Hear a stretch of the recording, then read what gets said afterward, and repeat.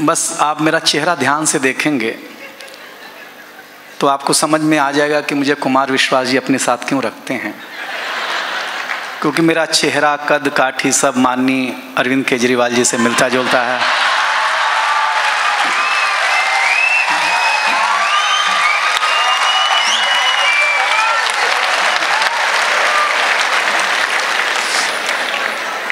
मैं कसम से बता रहा हूँ लेकिन एक अंतर मेरे और अरविंद केजरीवाल जी में है। हाँ आएगा आएगा आएगा। क्या बोल रहे हैं? अच्छा अच्छा अच्छा अच्छा।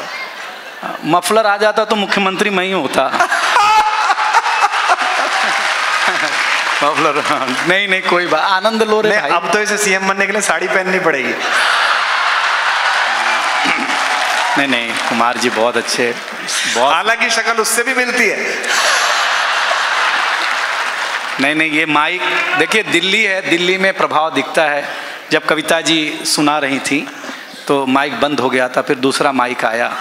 तो ऐसा ही लगा मुझे कि अरविंद केजरीवाल गए और आतिशी जी आई।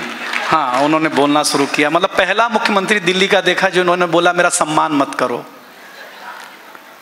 तो मैंने कहा अपमान भी कैसे करें? हाँ और कोई भी राजनेता हो साहब दसवीं बार भी मंत्री बनता है ना तो शपथ देख के ही पढ़ता है। जिसको छह लाइन की शपथ याद नहीं होती उसको वादा कैसे याद रहेगा मेरे समझ में नहीं आता अच्छा यार। है। हाँ, नहीं ताली उली बजवा लेंगे। देखिए मेरे और अरविंद केजरीवाल जी में खाली चेहरा ही मिलता है। ये बस इतना याद रखना। हाँ अंतर है ये छोटा सा। और वो अंतर ये है कि अरविंद केजरीवाल जी घर के बाहर झाड़ू लगाते हैं। अच्छा है। अभी हम समझा लेंगे सम... मैं तो महाराष्ट्र से हूँ। एक विधायक के सर सुनिएगा। अच्छा। एक विधायक के लड़के ने अपनी माँ से कहा कि माँ बी दिला दे। तो माँ ने कहा एक बार बाप को बिक तो जाने दे। अच्छा अच्छा है। हाँ। अच्छा। है तो इशारा भी समझना और इन्होंने सरस्वती वंदना की माँ को याद किया जबकि पितृपक्ष चल रहा है। अच्छा। हम रोज सुबह बाप को जगा रहे हैं कि पानी पी लो। अगली बात पे अच्छी लगेगी आपको। हाँ मनुष्य की मनुष्य की प्यास मरने के बाद भी नहीं बुझती। शायद इसीलिए हम लोग अस्थियाँ गंगा में ले जाके डालते हैं भाई साहब। हाँ। श्राद्ध में पानी पिलाते हैं। मनुष्य मनुष्य, लेकिन आप लोग अच्छे लोग। ताली उली मत बजाना, देखो, दिल्ली वालों, आप अच्छे लोग हो।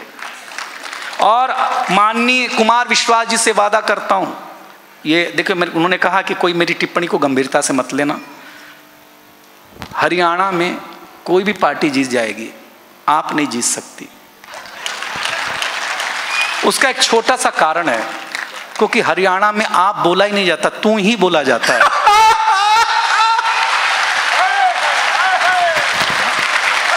जहाँ आप है ही नहीं वहाँ आप ताली कम बजाई आपने यही कविता है साहब। हमने एक लाइन में कह दी वो बात।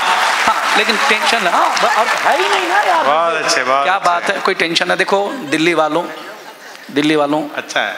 दिसंबर में आप खास आदमी हो जाएँगे। क्योंकि हर दिल्ली का आदमी खांस रहा होगा।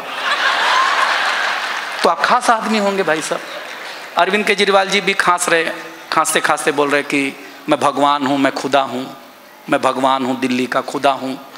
तो कुमार विश्वास जी गए बोले आप हो ही नहीं सकते। भगवान तो हो सकते खुदा नहीं हो सकते। बोले क्यों नहीं हो सकते? बोले खुदा न खास्ता।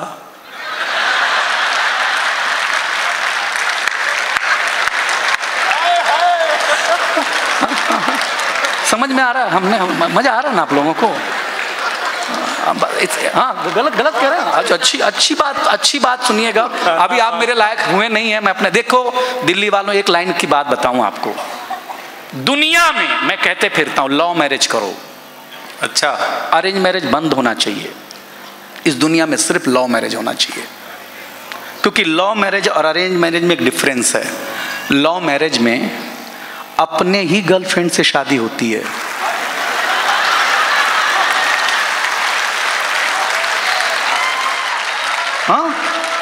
अरेंज मैरिज में भगवान जाने किसकी मत्थे आ जाए यार? लव मैरिज करो।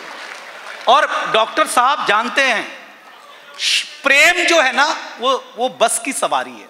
अच्छा। बस की। जो यहाँ फ्री में चलती है ना बस की सवारी है। शादी हवाई जहाज़ की सवारी है। आप बस में बैठो आपका मन भर गया अगले स्टॉप पे उतर जाओ। लगन अगर एक बार आप हवाई जहाज़ में बैठ गए भाई साहब तो जब तक ससुर नामक पायलट आपको लैंड न करा दे तब की आपकी हिम्मत नहीं कि आप उतर जाओ भाई साहब। मैं सही गलत बता गलत बोल रहा हूँ सर मैं। लेकिन आप अभी भी मेरे लायक हुए नहीं दोस्त। मैं बड़ा जादूगर कवि हूँ। क्या हाँ, है? क्या बात है, हाँ हाँ। शुरू हो जा। हाँ ताली वाली बजाना अच्छा अच्छे लग रहे हैं आप लोग। बहुत अच्छा डॉक्टर साहब मेरे को पीछे से दादे बोले चालू हो जा। अब मेरा चेहरा ही चालू है। तो वो चालू हो जा कहते हैं। कहता है डॉक्टर साहब बड़े आदमी हैं उसमें कोई शक नहीं बहुत अच्छे से सुन रहे हैं आप लोग। देखो मैं यूपी का हूँ। भारतीय आदमी की आदत होती है कि वो सत्यनारायण भगवान की कथा अगर दसवीं बार भी सुन रहा हो तब भी, भी जब तक पंडित ना कहे कि अध्याय समाप्त हुआ तब तक वो अच्छत फूल नहीं छोड़ता। क्योंकि वो ठीक से सुन ही नहीं रहा होता है। डॉक्टर कुमार विश्वास जी को आपने 25 साल पहले ठीक से अगर सुन लिया होता तो आज ये वाले कपड़े में मैं बैठा होता भाई साहब। हाँ? आपकी आदत खराब है अच्छा था बहुत अच्छा। मैं गलत कह रहा हूँ क्या आप लोगों को? तो मैं आपको बता दिया करूँगा पहली टिप्पणी पे आनंद ले लेना। हम पुरुष लोग स्वच्छता में भरोसा करते हैं। रियली महिलाएँ बिल्कुल स्वच्छता में भरोसा नहीं करती हैं। बिल्कुल नहीं साहब। भरोसा ना हो तो मेरी टिप्पणी सुनिए। हम पुरुष लोग नाई की दुकान में बाल कटा करके आते हैं, दाढ़ी बना करके आते हैं, आ करके तुरंत नहाते हैं, क्योंकि हम स्वच्छता में भरोसा करते हैं। कभी कोई महिला ब्यूटी पार्लर से आने के बाद